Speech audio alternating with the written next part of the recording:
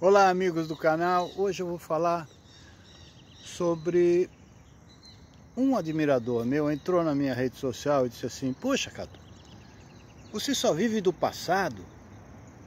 Não é passado, é a minha vida, é a minha trajetória. Eu acho que a gente tem que valorizar a, a trajetória da gente, né? O presente é agora que eu estou falando com vocês. O passado é tudo que eu já fiz. É, todas as novelas, todos os seriados, toda muita alegria eu dei para muita gente, eu fiz gente chorar, eu fiz gente rir.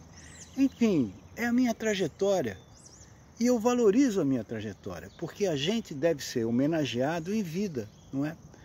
E eu, eu agradeço, inclusive, a todas as mensagens que eu recebo de incentivo e de as pessoas me dando os parabéns pela, pela minha trajetória, pelo tudo, tudo que eu fiz, e eu não parei de fazer. Agora, a vida não para.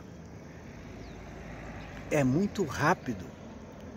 E a gente tem que lembrar tudo que já fez, desde a infância até o momento. 70 anos de idade.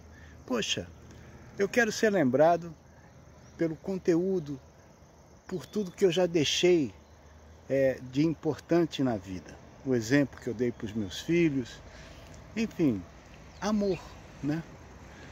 Ser, é, lembrar o seu passado é uma atitude de amor. E futuro só Deus sabe. E agora é com vocês. O que, que vocês acham disso? Hein? Fala, Cadu.